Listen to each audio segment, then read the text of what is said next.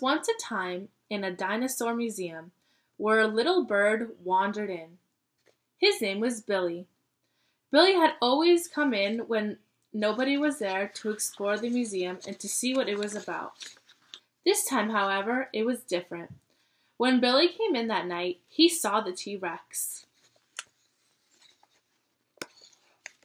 As he sat on the T Rex's bones, he wondered what it would be like to live in a time where dinosaurs had ruled the earth.